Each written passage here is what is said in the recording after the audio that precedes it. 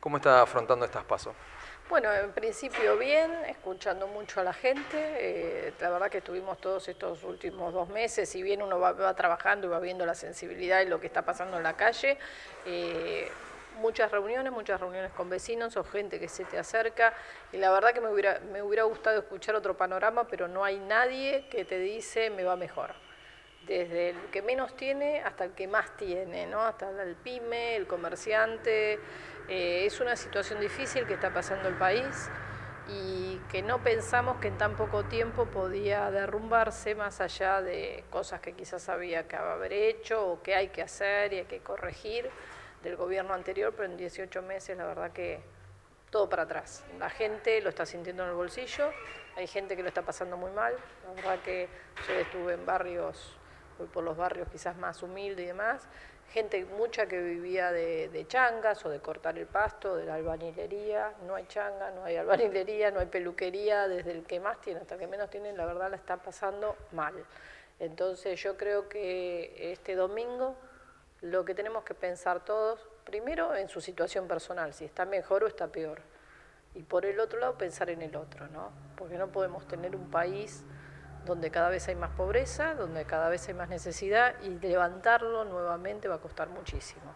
Entonces creo que es una oportunidad el domingo para que la población diga, más allá de quien vote, eh, diga, bueno, hasta acá llegué, que los políticos escuchen y que escuchen al pueblo, que para eso está la democracia, ¿no? que a través de nuestros votos y en forma pacífica podamos corregir las cosas que se están haciendo mal.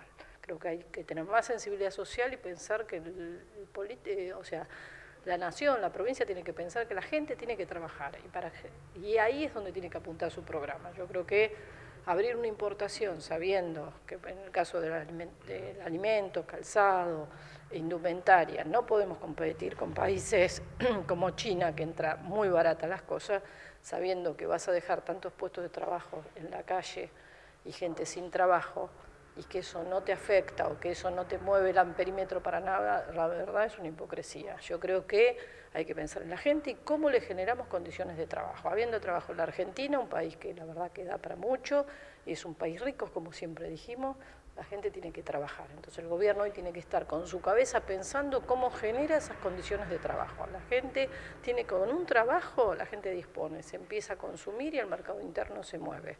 No es una política ni, ni nada estelar. Es lo que pasó y lo que nos demostraron los últimos años, lo que pasa cuando la gente dispone de un pesito más. Nos movemos todo y cuando el que menos tiene, tiene, desde el que menos tiene hasta el que más tiene, están en mejores condiciones. Entonces lo que le pido a los gobernantes ya te digo, a nivel nación, a, nivel provincia es eso, que piensen cómo pueden trabajar con la sensibilidad y mirando a la gente, y que la puedan mirar a la cara y que no les chiflen cuando van a un barrio. La ideal sería que un presidente lo reciban bien. Entonces, para eso la gente tiene que estar mejor.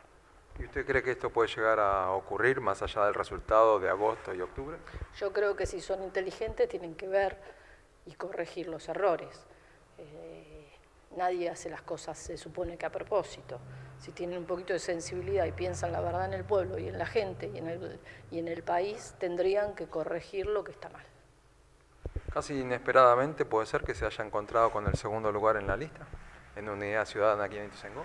Sí, eh, yo sé, eh, ustedes me conocen hace mucho tiempo, siempre voy trabajando y generando cosas, esto del trabajo, yo soy una obsesiva para generar puestos de trabajo porque creo que es la salida de este país y de alguna manera es un reconocimiento al trabajo que fui haciendo, al trabajo que voy haciendo dentro de mis sectores y, no, y los sectores más carenciados de la, de la población, porque la verdad también a mí me gusta mucho trabajar en la social, escuchar y poder resolver. Así que fue, la verdad es un orgullo este segundo lugar, que me lo hayan dado tanto por el trabajo, pero también representando a la mujer, que tanto hemos peleado para tener lugares en la lista y bueno, que, que, y que estemos no solo que nos den el lugar, sino que estemos a la altura de la circunstancia, a la par del hombre, resolviendo y por igual llevando los problemas y afrontando las dificultades que tenemos en este momento y poderlas resolver.